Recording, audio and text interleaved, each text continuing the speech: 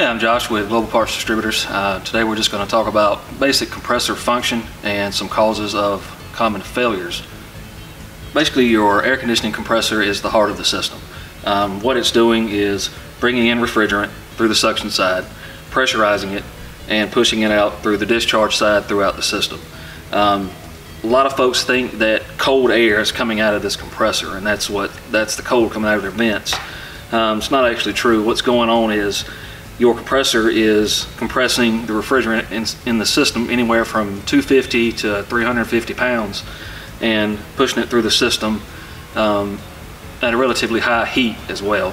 When you're talking about automotive AC compressors, you're basically talking about three different types. You have your standard piston compressor, we also use a scroll compressor, and what's called a rotary vane compressor.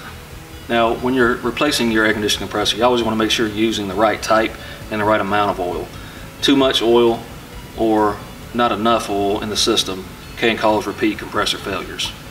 Um, one of the main causes of compressor failure is lack of lubrication back to the compressor. Uh, what happens is you get a leak, you lose refrigerant. And refrigerant is actually what moves the oil throughout the system. So if you can't get adequate amount of refrigerant back to the compressor, um, then you could lock it up.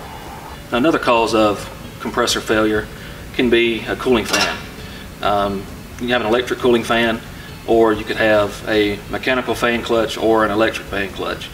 If those aren't doing their job properly, they're not pulling enough air past the condenser to properly cool the refrigerant. You get high pressure in the system and your compressor finally goes out. This can also be a cause of repeat failures. When your initial compressor locks up, there's going to be debris in the system, there's going to be burnt oil in the system, um, shavings of metal, all that goes straight to the condenser. Now, the way these condensers are made, there's no continuous passage, so there's actually no way to flush this condenser. If you have a compressor that locks up